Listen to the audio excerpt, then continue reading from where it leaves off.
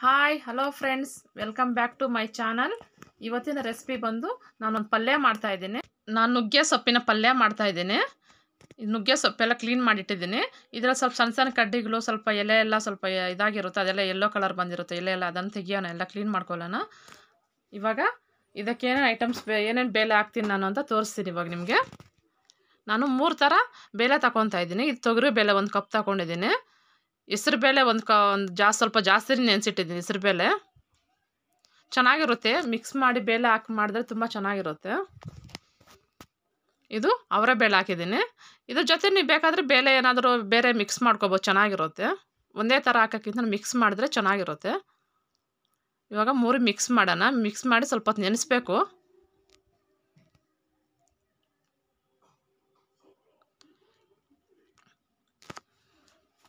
ಮಕ್ಕಳು ಸುಮಾರು ಮಕ್ಕಳು ತಿನ್ನಲ್ಲಲ್ವಾ?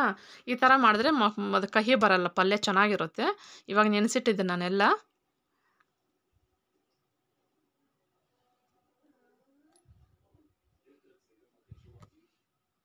ತೊಗರಿ ಬೆಲ್ಲನ ಇದೆ ಹಾಕೋಣ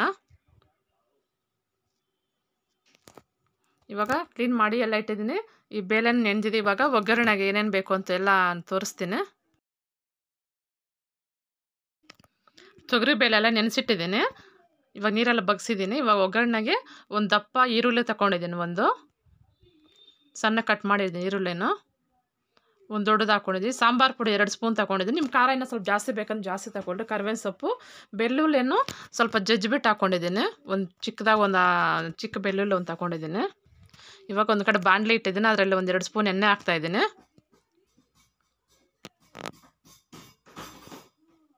ಇವಾಗ ಎಣ್ಣೆ ಬಿಸಿಯಾಗಿದೆ ಓಕೆ ಸಾಸಿವೆ. ಸಾಸಿವೆ ಹಾಕಿದ್ದೀನಿ. ಇವಾಗ ಸಾಸಿವೆ ಅಲ್ಲ ಇದು, ಸಾಸಿವೆ ಆದಮೇಲೆ ಸ್ವಲ್ಪ ಇದು ಕಡಲೆಬೇಳೆ ಹಾಕೋಲ್ಲನ ಎಲ್ಲ ಫ್ರೈ ಆಗಲಿ ಕಡಲೆಬೇಳೆ ಎಲ್ಲ. ಇವಾಗ ಈರುಳ್ಳಿ ಹಾಕ್ತಾಯಿದ್ದೀನಿ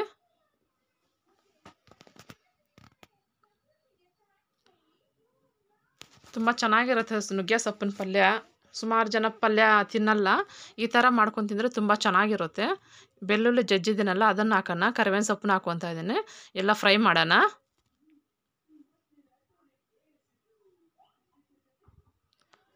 ಅಯ್ಯೋ, ನುಗ್ಗೆ ಸೊಪ್ಪು ಪಲ್ಯ ಕಹಿ ನಾವು ತಿನ್ನಲ್ಲ ಅಂತಾರಲ್ಲ ಇಂಥ ಈ ಥರ ಮಾಡ್ಕೊಂಡು ತಿಂದರೆ ತುಂಬ ಚೆನ್ನಾಗಿರುತ್ತೆ.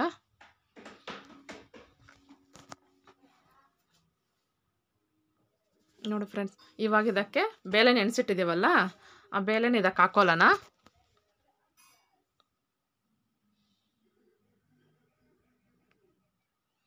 ಇವಾಗ ಸ್ವಲ್ಪ ಹೊತ್ತು ಒಂದು ಎರಡು ಮೂರು ನಿಮಿಷ ಫ್ರೈ ಮಾಡೋಣ ಇದರಲ್ಲೇ ಬೇಳೆಯನ್ನು. ಇವಾಗ ಇದಕ್ಕೆ ನುಗ್ಗೆ ಸೊಪ್ಪು ಹಾಕೊಳ್ಳೋಣ. ನಾನು ನುಗ್ಗೆ ಸೊಪ್ಪು ತೊಂದಿಟ್ಟಿರೋ ನುಗ್ಗೆ ಸೊಪ್ಪು. ಫ್ರೆಶ್ ಆಗಿದೆ ನುಗ್ಗೆ ಸೊಪ್ಪು.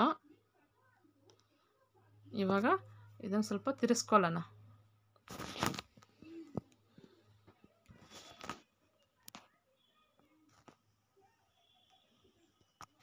ಇದಕ್ಕೆ ಸ್ವಲ್ಪ ಇವಾಗ ನೀರು ಹಾಕೊಳ್ಳೋಣ. ಬರೀ ಸೊಪ್ಪು ಹಾಕಂಗಿದ್ರೆ ನೀರೇನು ಅವಶ್ಯಕತೆ ಇಲ್ಲ. ನಾವು ಬೇಳೆ ಹಾಕಿದ್ದೇವಲ್ಲ ಅದಕ್ಕೆ ಸ್ವಲ್ಪ ನೀರು ಹಾಕ್ಕೋಬೇಕು ಒಂದೇ ಸಲ ಜಾಸ್ತಿ ಹಾಕ್ಬಾರ್ದು ನೀರು, ಸ್ವಲ್ಪ ಸ್ವಲ್ಪನೇ ನೋಡ್ಕೊಂಡು ನೋಡ್ಕೊಂಡು ಹಾಕ್ಕೋಬೇಕು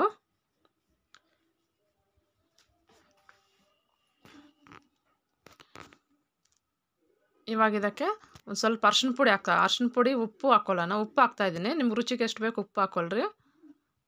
ಅರ್ಶಿನ ಪುಡಿ ಸ್ವಲ್ಪ ಹಾಕೋಣ.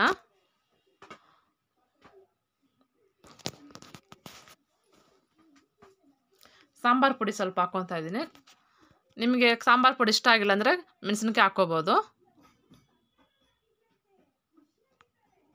ಇವಾಗ ಎಲ್ಲ ಮಿಕ್ಸ್ ಮಾಡೋಣ.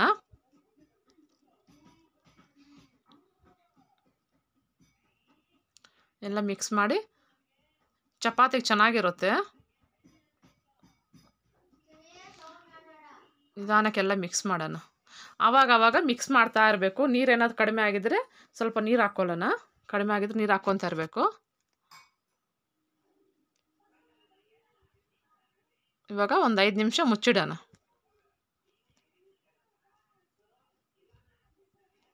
ಒಂದು ಐದು ನಿಮಿಷ ಆದಮೇಲೆ ತೆಗೆದು ನೋಡೋಣ, ನೀರು ಕಡಿಮೆ ಆಗಿದ್ದು ಸ್ವಲ್ಪ ನೀರು ಹಾಕ್ಕೊಳ್ಳೋಣ ಮತ್ತೆ. ನೋಡಿ, ಸ್ವಲ್ಪ ನೀರೆಲ್ಲ ಕಡಿಮೆ ಡ್ರೈ ಆಗಿದೆ. ಇನ್ನು ಸ್ವಲ್ಪ ನೀರು ಹಾಕೋಲ್ಲ ಬೇಳೆ ಜಾಸ್ತಿ ಇದೆ ಅಲ್ವಾ? ಅದಕ್ಕೆ ಸ್ವಲ್ಪ ನೀರು ಸ್ವಲ್ಪ ಜಾಸ್ತಿ ಹಾಕೋಬೇಕು ನಾವು. ಅದು ಬೆಂದಿಲ್ಲ ಅಂದರೆ ಇನ್ನು ಸ್ವಲ್ಪ ನೀರು ಹಾಕೋಲ್ಲ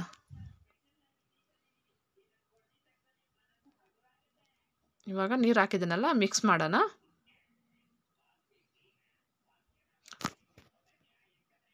ಇವಾಗ ನೀರು ಹಾಕಿದ್ದೀವಲ್ಲ ಇವಾಗ ಒಂದ್ಸಲ ತಿರುಗಿಸ್ಬಿಟ್ಟು ಮುಚ್ಚಿಡೋಣ ಒಂದು ಐದು ನಿಮಿಷ. ಇವಾಗ ತೆಗೆದು ನೋಡೋಣ. ನೋಡಿ, ಪಲ್ಯ ಎಲ್ಲ ರೆಡಿ ಆಗಿದೆ. ಸ್ವಲ್ಪ ಒಂದು ಚೆಕ್ ಮಾಡೋಣ. ತುಂಬ ಚೆನ್ನಾಗಿರುತ್ತೆ ಈ ಥರ ಮಾಡಿದ್ರೆ. ನೋಡಿ ಫ್ರೆಂಡ್ಸ್ ತುಂಬ ಚೆನ್ನಾಗಾಗಿದೆಲ್ಲ ಎಲ್ಲ ನೀರೆಲ್ಲ ಡ್ರೈ ಆಗಿದೆ. ಬೇಳೆನೂ ಬೆಂದಿದೆ ಇವಾಗ. ಇವಾಗ ನಾನು ಸ್ವಲ್ಪ ಹಸಿ ತೆಂಗಿನಕಾಯಿ ತುರಿದಿಟ್ಟಿದ್ದೀನಿ ಅದನ್ನು ಸ್ವಲ್ಪ ಹಾಕ್ಕೊತಾ ಇದ್ದೀನಿ. ನೀವು ಬೇಕಾದರೆ ಕಲ್ಲೆ ಬೀಜ ಪೌಡ್ರ್ ಹಾಕ್ಕೋಬೋದು ಹುರಿದ್ಬಿಟ್ಟು ಕಲ್ಲೆ ಬೀಜ ಪೌಡ್ರ್ ಮಾಡಿ ಹಾಕ್ಕೋಬೋದು ಚೆನ್ನ ಅದು ಚೆನ್ನಾಗಿರುತ್ತೆ. ನಾನು ಕಲ್ಲೆ, ತೆಂಗಿನಕಾಯಿ ಹಾಕ್ತಾಯಿದ್ದೀನಿ ಹಸಿ ತೆಂಗಿನಕಾಯ್ದು. ಇವಾಗ ಪಲ್ಯ ರೆಡಿ ಆಯಿತು. ತುಂಬ ಚೆನ್ನಾಗಿರುತ್ತೆ. ಒಂದ್ಸಲ ಟ್ರೈ ಮಾಡಿರಿ. ನೋಡಿ, ಎಷ್ಟು ಚೆನ್ನಾಗಿದೆ ಅಲ್ಲ ಪಲ್ಯ. ನಾನು ಇವಾಗ ಟೇಸ್ಟ್ ನೋಡ್ತೀನಿ.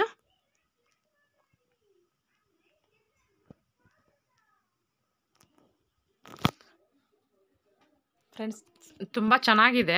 ನೀವು ಒಂದ್ಸಲ ಟ್ರೈ ಮಾಡಿ ಪಲ್ಯನ. ಚಪಾತಿಗೆಲ್ಲ ಚೆನ್ನಾಗಿರುತ್ತೆ.